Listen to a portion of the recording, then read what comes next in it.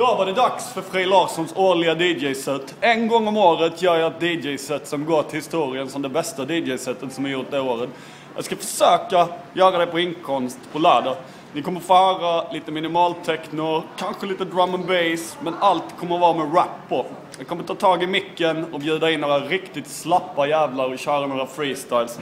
Det kommer bli en fest från helvetet och tillbaka. Lyssna på Metropol om en halvtimme.